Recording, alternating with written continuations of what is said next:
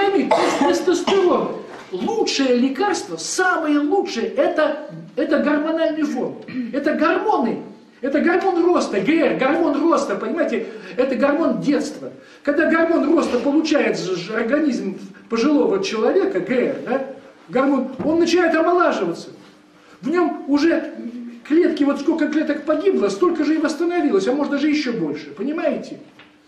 За счет упражнений. Он не понимает это. Вот как ему это объяснить? Он не понимает. Ну и махнул рукой, ну и умирать, твое дело, раз ты дурак. А? Что попроще хочет. Да, конечно.